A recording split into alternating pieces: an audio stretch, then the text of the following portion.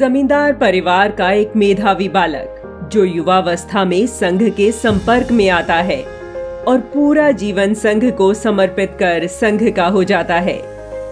जिसकी गिनती देश के महान वैज्ञानिकों में होती थी, जिनकी योग्यता के कायल थे नोबल पुरस्कार विजेता वैज्ञानिक सीवी रमन।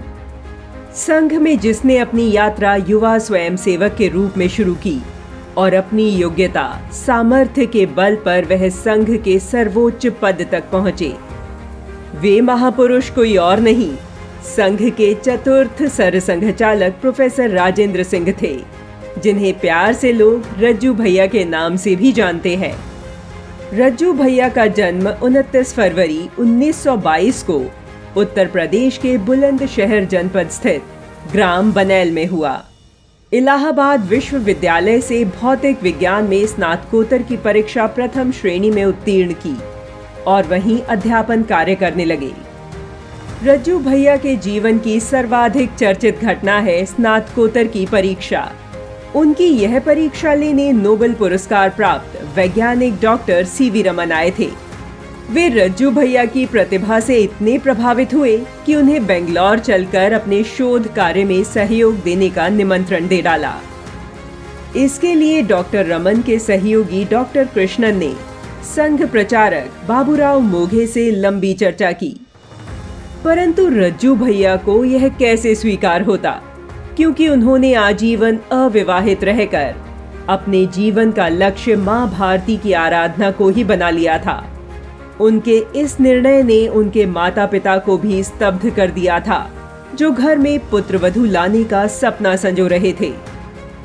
रज्जू भैया अध्यापन के साथ साथ संघ कार्य को समय दे रहे थे, किंतु उनके मन में देश, समाज और राष्ट्र के लिए अधिक करने की इच्छा थी। इसलिए वर्ष 1966 में विश्वविद्यालय से त्याग पत्र देकर, वे पूर्णतः संघ कार्य को गतिमान करने में जुट गए। आपातकाल के दौर में रज्जू भैया, प्रोफेसर गौरव कुमार के नाम से निरंतर प्रवास करते रहे और स्वयं सेवकों द्वारा किए जा रहे सत्याग्रह को दिशा प्रदान की।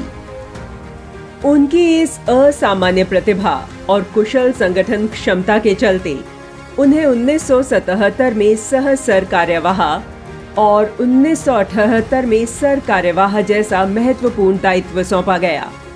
नौ वर्ष तक इस दायित्व का निर्वहन करते हुए रज्जू भैया ने पूरे देश का प्रवास किया। इसके बाद वह दिन भी आया, जिसने प्रोफेसर राजेंद्र सिंह को सर संघ चालक राजेंद्र सिंह बना दिया।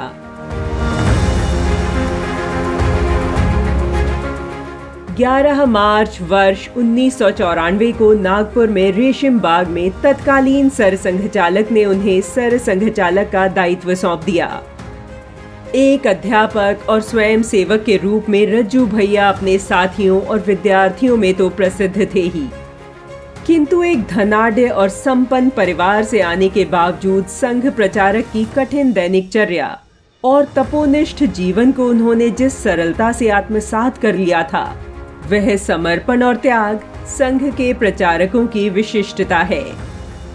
यदि किसी को भारत की त्यागमयी जीवन पद्धति का परिचय लेना हो सेवा व्रत अनुशासन, मिलनसारिता।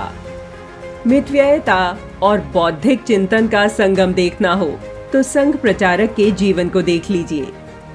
ये अपने शरीर के जीर्ण शीर्ण हो जाने तक सतत निष्ठा भाव से माँ भारती की सेवा में संलग्न रहते हैं। अपनी संपूर्ण ऊर्जा से समाज में नवसंचार करते हैं।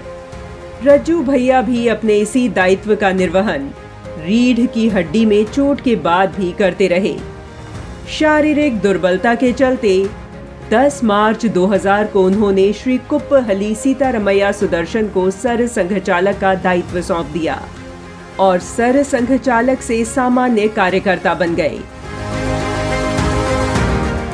दायित्व से निवृत्त होने के बाद रज्जू भैया पुणे के कौशिक आश्रम में रहते हुए संघ कार्य चिंतन में सक्रिय थे। 14 जुलाई 2003 उन्होंने अपने शरीर को त्याग दिया।